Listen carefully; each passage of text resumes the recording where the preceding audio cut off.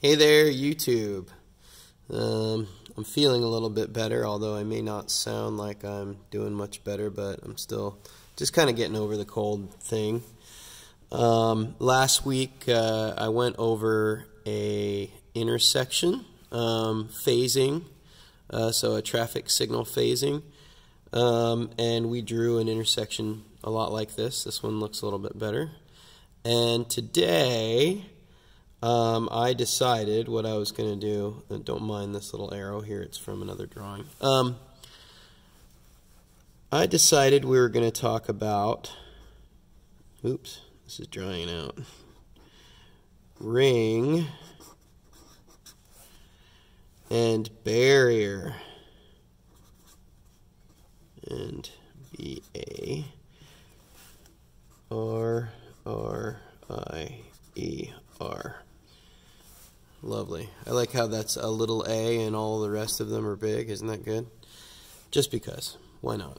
It's like it's like uh, typing and and, uh, and doing things on the internet with autocorrect has just like ruined everything as far as um, caring about those sort of things. So, uh, okay, what ring and barrier is about is talking about how we sequence these phases at an intersection, basically so that um, conflicting phases uh, never run together logically. So when we're talking about how we sequence this intersection so that cars that can run together um, on paper can only run together logically also. So Let's talk about our phases, our vehicle phases. There's phase one, okay. Phase two. I'm trying to use the grid on the paper here so it makes sense. Phase three. Uh, phase four. Phase five. Six. Seven. Eight. Okay. Now, We'll draw a little grid here so everybody's got a nice little square that belongs to them. Okay, that looks pretty good. I know if any of you guys are OCD, you're probably like losing your minds right now. Okay, this here. And if you look up ring and barrier, there's a lot of really beautiful diagrams out there. This big black stripe that I'm doing here is what we call our barrier, okay? That's the barrier right there, okay? And um, what the barrier is basically is to um, separate, um, as you can see, the phases that are on the main street. Let's call this Main Street and side street. Okay. Um, but basically, so that conflicting phases stay separate from each other. Okay. In the realm of sequencing the intersection. Now, what we call our ring is basically just these cycles as they operate like this. Okay? This top section here is called ring 1. Usually you'll see it represented as an R. And then this is ring 2. Okay? Now, as a traffic signal is timing. This is the basic, bare bones, basic way that a signal will time. And I want you to go in the field and observe this um, at, at an intersection near your house or whatever when you're out driving around. Just pull over, grab a milkshake or something, and just watch the light. Watch how the signal operates. And typically what you're going to see is that you're going to see the left turn phases come up before the through movement phases at a busy eight phase intersection, right? So if you've ever noticed that you're trying to make a left turn, uh, even though you have to wait for some time for the light to cycle, at least after the side street is all done running, you might be the next guy to go. So logically, uh, the way that we're looking at this cycle is that this is timing at the same time as this. So 1 and 5 will come up together, okay, right? And sometimes you'll notice that um, one of these only has like one car and then another one will have a bunch of cars, right? So then in that case, let's say um, phase one only had one car, but phase five had five cars, right? So then what happens is that the next phase in that ring will serve, right? So then it's perfectly okay for five and two, right? Five and two to run together. So so we want these cars to get to go, right? So we're looking at phase one and phase five. They come up together, so you've got a green arrow here and you've got a green arrow here. Then there was only one here, okay? On phase one, there was one car, okay? Just for the sake of uh, making uh, numbers easy for me. But there's five cars here, and so they're still going. But after this guy goes yellow and then to red, who can go next? The phase two can go next in this ring. So then phase two and five are running together, okay? And so then you've got these guys getting to go. And then these guys that are on phase six, they can't go yet because phase five is not done. So they got to wait a little while longer. But then eventually the fifth car has passed through, and then we've gapped out, um, and we have made it to a yellow and then a red arrow here. And so now this left turn is done. And now the next number in ring 2 can serve. So now we know that 2 and 6 can run together. These guys can run together, right? The same thing could happen the other way around. What if what if there was only one car here on phase 5, right?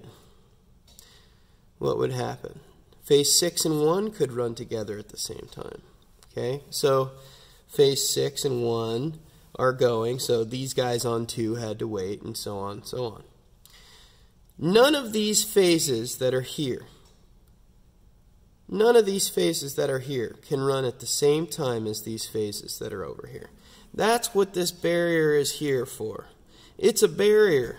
We can't run those phases together. That would be a conflict and that would cause a bad accident. Okay? But when 2 and 6 are done, you know, and these rings are complete, only then, when these are done, we can cross the barrier and start serving 3 and 7. So 2 and 6 are now red, and then 3 and, and 7 can come up. So phase 3 and phase 7 can run, and, and so on. It can do basically the same thing that it did on this street. So if there's only, let's say there's no cars on phase 7, but there's a couple of cars here on phase 3. Phase 3 and 8 can come up at the same time, allow these left turners to go, and then once this uh, eastbound left turn is complete, then phase 4 gets to go. Okay? And that is what ring and barrier is all about. Uh, it is basically just a way of um, sequencing the directions, the phases at a signal so that uh, there will never be a conflict. And this, some, some uh, smart individual, I've never actually figured out who came up with the ring and barrier mode, but whoever came up with an eight phase sequencing like this uh, was really quite brilliant. I mean, uh, it's a it's a standard logic problem, right? Because we know we know which directions you can go without hitting the other guy, basically. But you know, without this, without this, and you just pull up to an intersection without any, um, you know, it's all willy nilly. Now there are uh, there are some circumstances where intersections are served what's called an eight phase sequential, where um, whether or not there's a barrier, it, it, doesn't matter because every single phase, and that pretty much just looks like one, two, three, four, five, six, seven, eight, that every phase serves on its own. Okay, um, every every phase serves all by itself.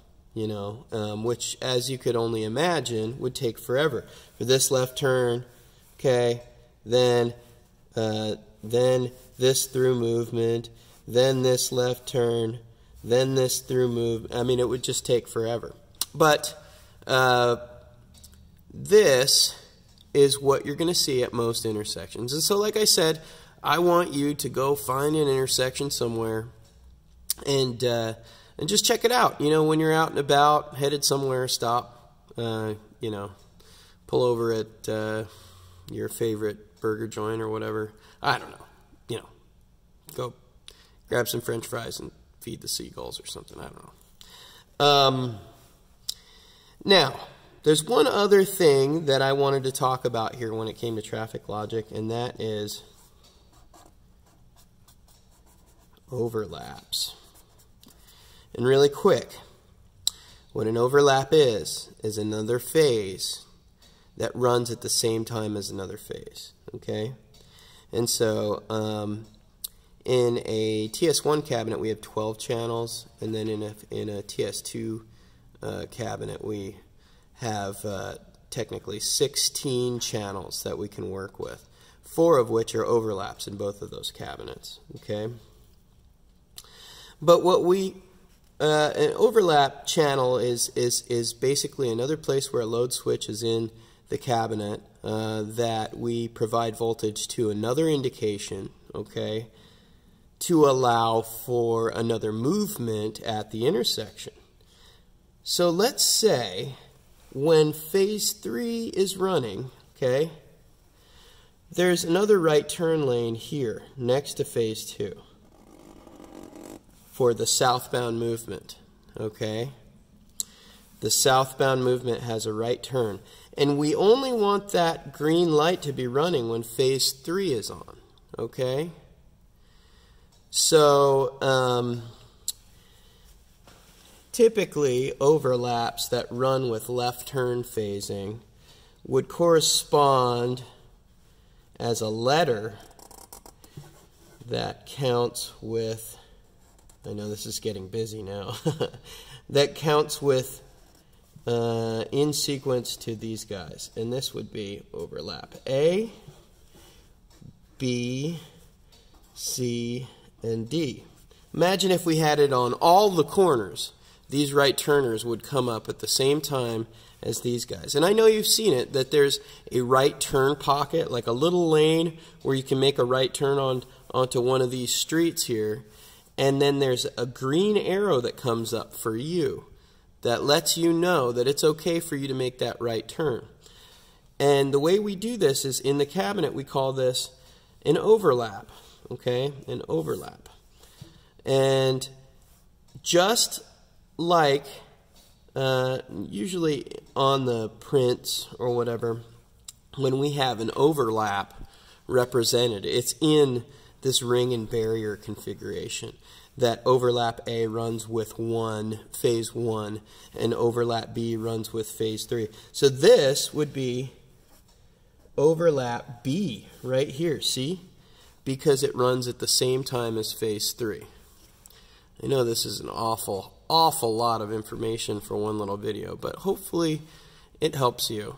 And if you're confused, you can ask questions. Otherwise, you can add information um, uh, down below. You can ask questions in the comments section, or just Google it, man. All of this stuff is out there, and uh, there is what's called the MUTCD Manual on Uniform Traffic Control Devices and you can actually look up all of the information based upon how traffic signals are designed to operate, and uh, you can learn about this stuff. So um, there's also uh, uh, different states have design, traffic design websites and things like that. I guarantee if you if you Google any of these terms, this kind of stuff will come up. But hopefully, I've been helpful. Uh, hit like, subscribe, and then the bell thing. I think the bell is like gives you notifications or something. I don't know. But uh, catch you guys later. Hopefully, this was helpful. Cheers.